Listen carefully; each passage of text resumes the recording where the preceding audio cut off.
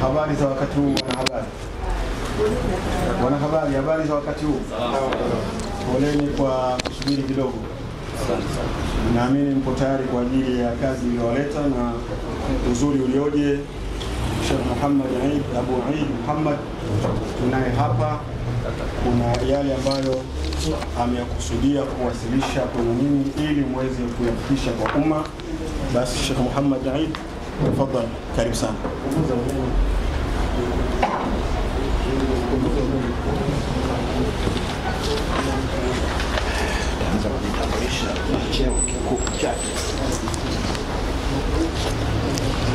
Ndugu zangu wanahabari, ndugu zangu Waislamu, ndugu zangu wa Tanzania wote, assalamu alaikum warahmatullahi taala wabarakatu. Amani ya Mwenyezi Mungu iwe kwenu wote. Niliyeko mbele yenu naitwa Sheikh Muhammad Eid Muhammad Abu Eid. Anwani ya mazungumzo yangu kwa leo hii ni tahadhari. Tujihadhari mjadala wa kimadhehebu kati ya Waislamu wa Kishia na Waislamu wa Kisuni usije kutupeleka katika tishio la uvunjifu wa amani.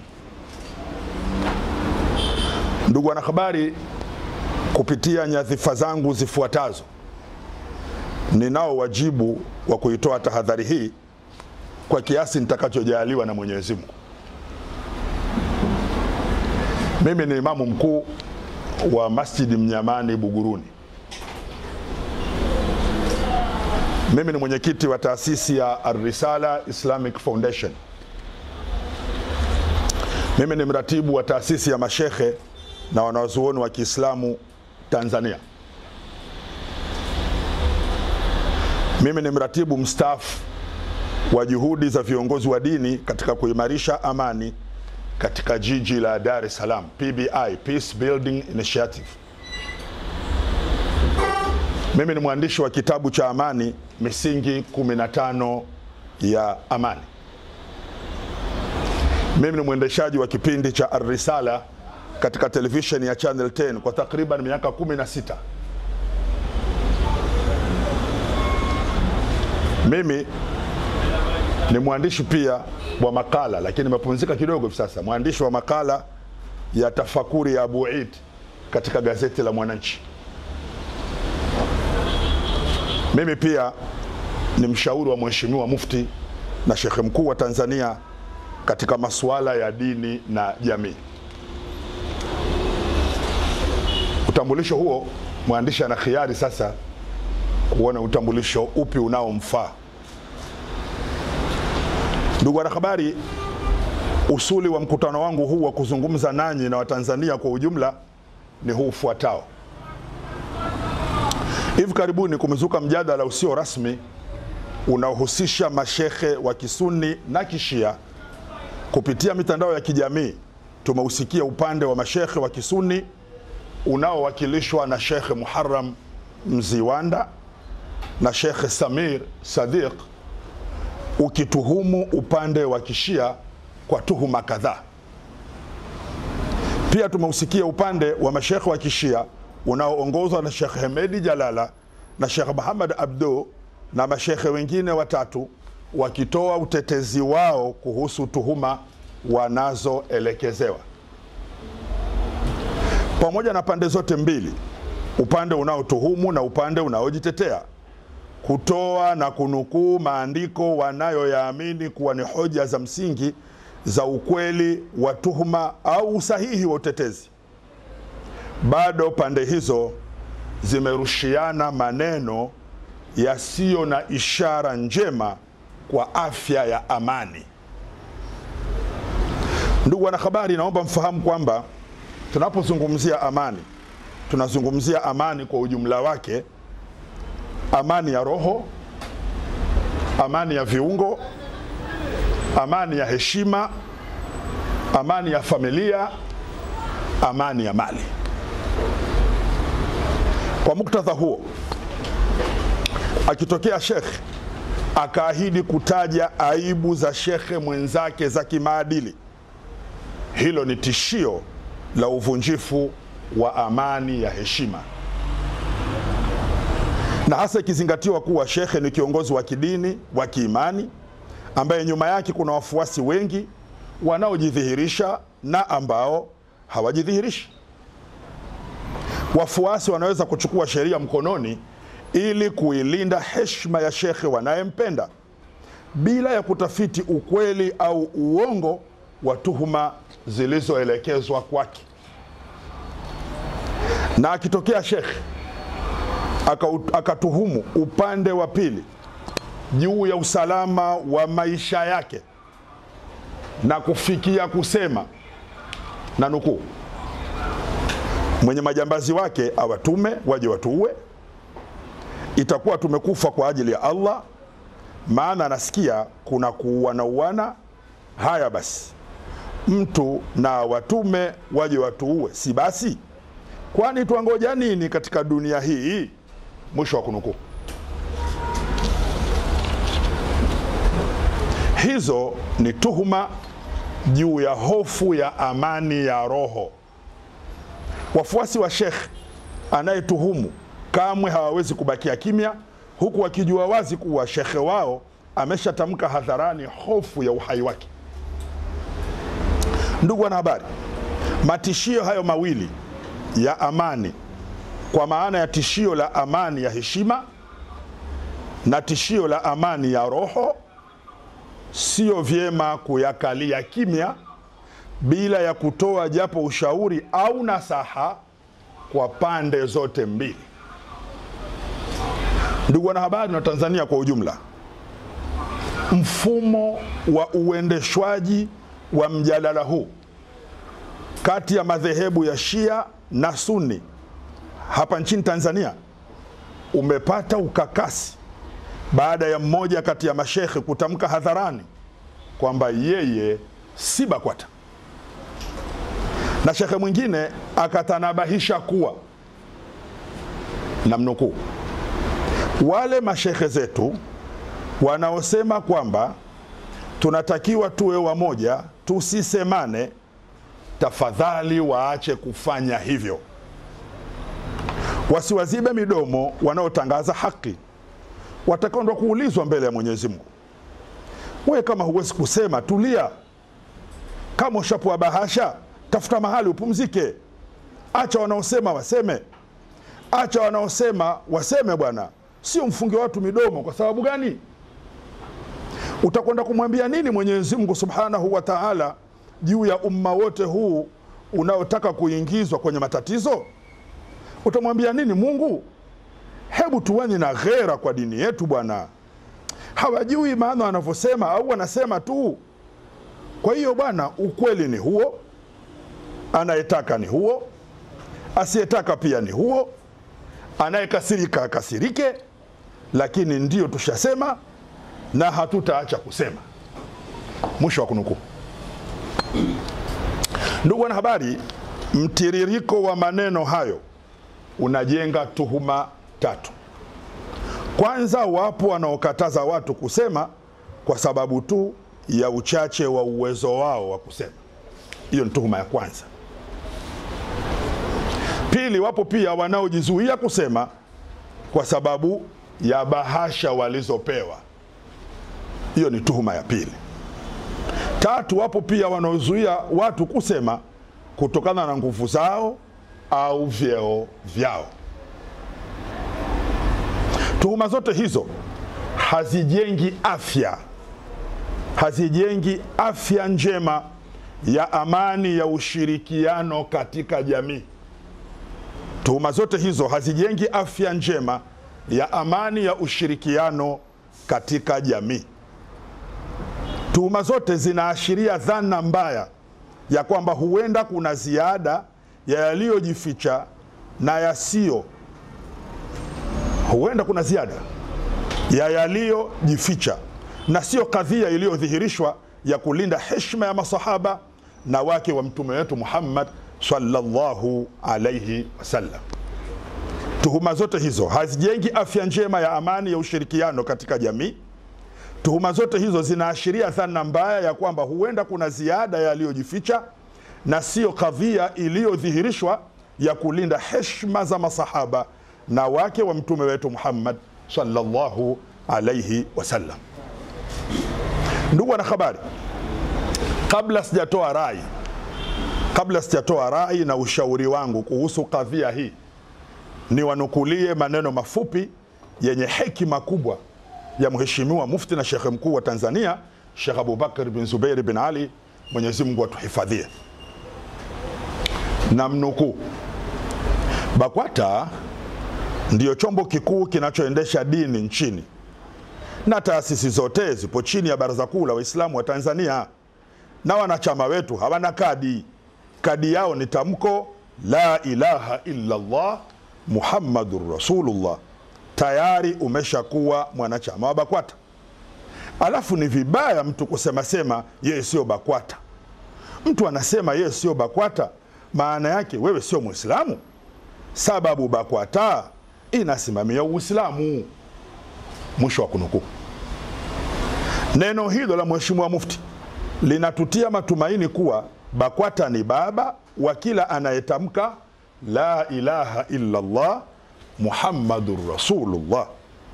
Hivyo BAKWATA haiwezi kumkataa yoyote anayetamka hizo shahada mbili, kwani hiyo shahada ndiyo kadi yake ya uwanachama wa BAKWATA na BAKWATA inawajibika kumhudumia na kumtumikia. Hivyo Mwislamu yoyote ni mwanachama wa BAKWATA, labda yule ambaye si Mwislamu, huyo si mwanachama wa BAKWATA. Na kamwe isipotoshwe, isipotoshwe, isipotoshwe kwamba asiyeipenda BAKWATA si Muislamu na asiyeikubali BAKWATA si Muislamu. Hapana, huo ni upotoshaji wenye malengo ya kupotosha umma. Tusiwe hivyo Waislamu, tusiwe hivyo Watanzania. Ndugu wanahabari, ieleweke, ieleweke kwamba mjadala wowote kati ya madhehebu fulani ili kuwapendezesha wafuasi wa upande mwingine wawafuate, huo ni mjadala halali wenye ruhusa kidini na kinchi. Jambo la msingi ni kusimamia nidhamu ya kuendesha mjadala. Ieleweke kwamba mjadala wowote kati ya madhehebu fulani ili kuwapendezesha wafuasi wa upande mwingine wafuate, huo ni mjadala halali wenye ruhusa kidini na kinchi. Jambo la msingi ni kusimamia nidhamu ya kuendesha mjadala. Baada ya kudhurusu hayo, sasa nitoe rai na nishauri na pengine nifafanue yafuatayo. Kwanza, kwanza namba moja hiyo, mjadala wa kutetea heshima za masahaba na hadhi za wake wa Bwana Mtume Muhammad sallallahu alaihi wasallama, endeleeni nao, lakini sio kwa mfumo huu wa kuwakashifu wengine na kuwatweza hadharani. Mjadala wa kutetea heshima ya masahaba na hadhi ya wake wa Bwana Mtume Muhammad sallallahu alaihi wasallama, endeleeni nao, lakini sio kwa mfumo huu wa kuwakashifu wengine na kuwatweza hadharani. Kutweza inajulikana, kutweza maana yake nini? Ni kudunisha. Kutweza maana yake ni kudunisha. Namba mbili, sio sahihi, sio sahihi, sio sahihi kuwazuia mashia wasije katika hadhara zetu masuni. Sio sahihi kuwazuia mashia wasije katika hadhara zetu masuni, sio sahihi, kwani ujio wao unamaanisha kwamba sisi kushirikiana nao katika baadhi ya tunayokubaliana nao, wala haimaanishi kukubaliana nao katika yote ya kwao, na wala wao pia ujio wao katika hadhara zetu haumaanishi kukubaliana na sisi katika yetu yote. Namba tatu, Baraza Kuu la Waislamu wa Tanzania BAKWATA linao wajibu wa kutukumbatia sote, madhehebu zote, kwa sababu ndiyo chombo chetu waislamu wote wa tanzania. Wala hilo haliwezi kumaanisha kuwa viongozi wa bakwata sasa ni mashia au ni madhehebu nyingine. Hapana. Wao wana wajibu wa kutukumbatia sote. Wale viongozi mmoja mmoja watakuwa na madhehebu zao lakini wana wajibu wa kutukumbatia sote sisi. Bila kujali madhehebu zetu madhali ile wanachama la ilaha illa llah muhammadun rasulullah tunao. Namba nne mbinu nzuri ya kuwakinga mbinu nzuri ya kuwakinga wafuasi wetu wasio mashia ni kuwasomesha elimu ya dini vizuri inayotosha kujikinga na ushia na kuweza kujenga hoja za kujikinga sio kuwakinga mashia wenyewe. Hiyo hapana. Namba tano. Kitendo.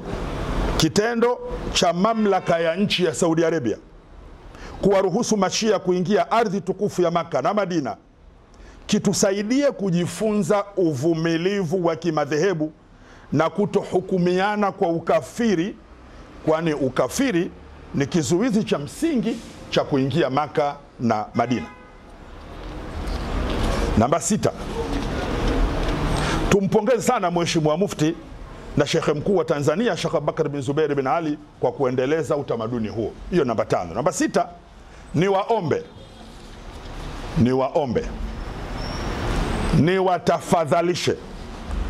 Mashekhe wa pande zote mbili wanaoendesha mjadala huu katika namna hii ambayo si nzuri ni waombe ni watafadhalishe kusitisha mjadala. Ni waombe ni watafadhalishe kuusitisha mjadala huu unaoendelea kwa mfumo usio na afya ya amani ya hishma na amani ya roho. Na insha allah wajipange kuuibua tena mjadala huu kwa mfumo ulioboreka mfumo huu si mzuri wasite waache. Kisha wabuni mfumo mzuri. Kwa mfumo huu huo mzuri mjadala uendelee kwa sababu kujadiliana ndiyo afya ya mtu kumtamani mwenzake aje kwenye lile ambalo analiona liko sawa. Huu ambao umekosewa tunawaomba wausitishe.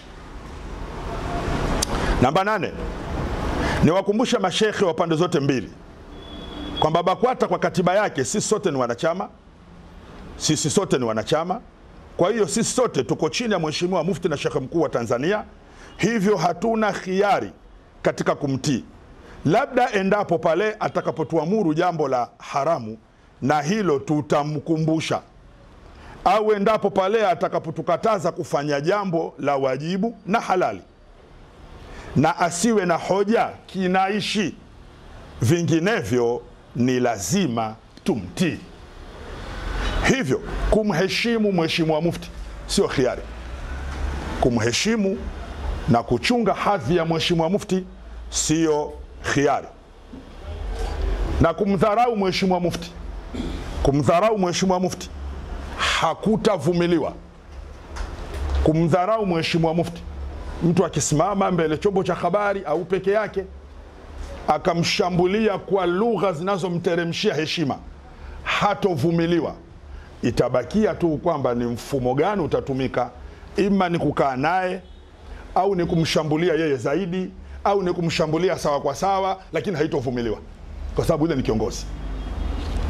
Namba tisa niwakumbushe mashekhe wenzangu makhatibu wahadhir na waislamu kwa ujumla tupeane nasaha kuhusu kudumisha amani katika hutuba zetu za ijumaa na mikutano yetu ya maulidi na hadhara mbalimbali ili kutotofautiana kwa madhehebu yetu tusije kusije kutumiwa kuwa kigezo na sababu ya kuvunja amani katika nchi.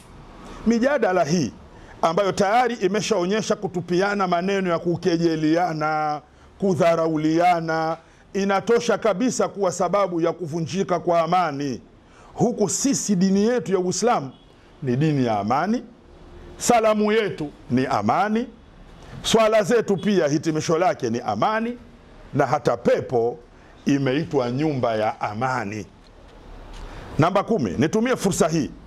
Nitumie fursa hii. Tuhimizane amani. Tujiepushe na chokochoko choko za kidini, kwani cheche ndogo kwani cheche ndogo inaleta moto wake mkubwa na ni hatari sana. Mijadala hii tukikosa umakini, inaweza kuwa ni sababu ya kuvunjwa amani na wafuasi wa kila upande, kwani kuituhumu na kuikejeli madhehebu nyingine kunatia hasira kwa wafuasi wa madhehebu ile.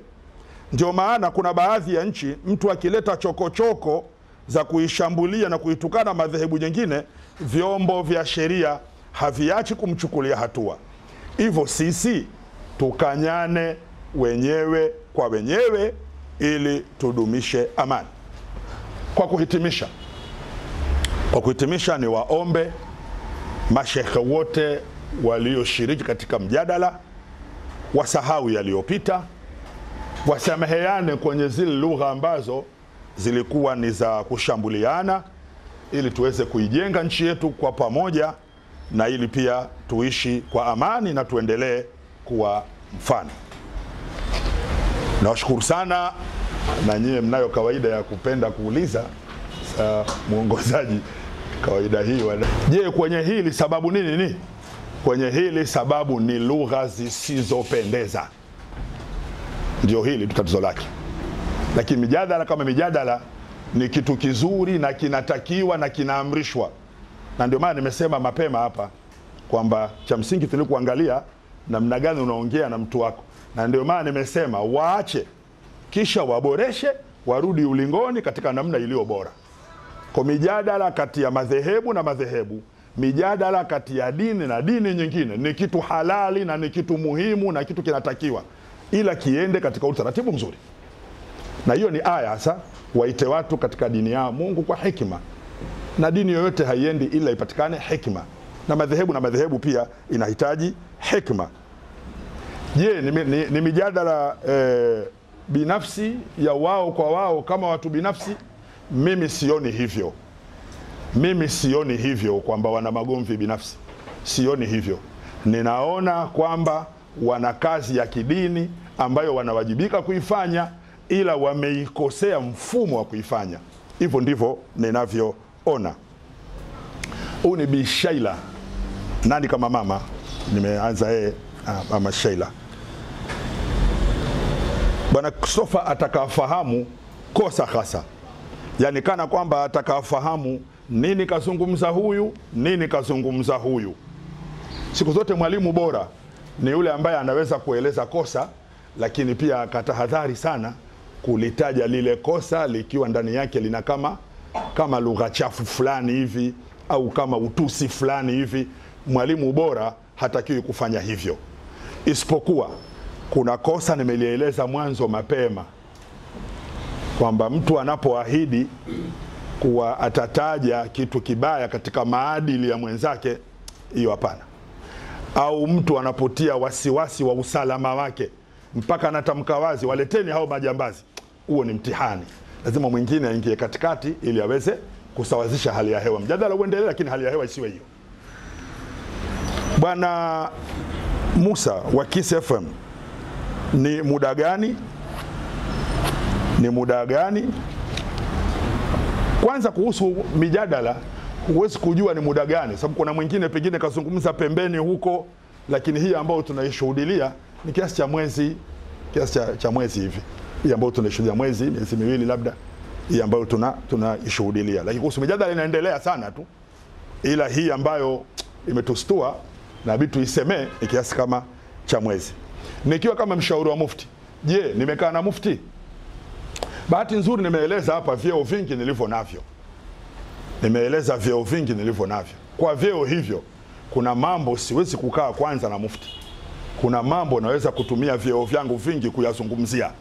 Mojawapo ni hili, mojawapo ni hili, kukaa na jamii na kuizungumzia kwamba jamani, huko tunakoenda siko, tujirekebisheni, ili tuweze kuishi kwa amani, tuweze kuhubiri dini yetu kwa amani. Naamini kwa ufafanuzi huo, ombe dua. Alhamdulillahi rabbil alamin wassalatu wassalamu ala rasulillah sayyidil mursalin abil qasim al amin wa ala alihi wa sahbihi al mayamin.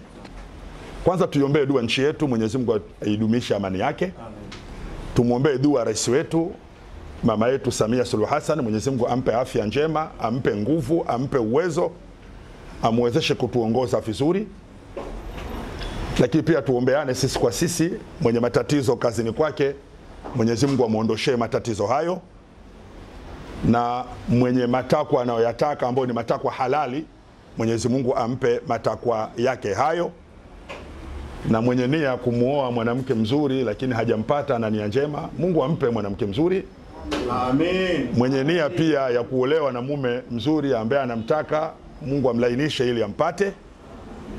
Na mwenye tamaa ya kutaka kuongeza mke lakini mumewe ni mke wake ni mgumu, e, Mungu mlainishe huyo mke. Eh, hii imetikiwa zaidi. eh, na mwenye dada yake ambaye atakaolewe lakini mume ana wake wengi isipokuwa yeye ni muogaoga, Allah aondosha uoga na Mungu turuzuku kipato cha halali Amen. na matumizi ya halali. Mwenyezi Mungu akusaidieni wote na nyewe pia ni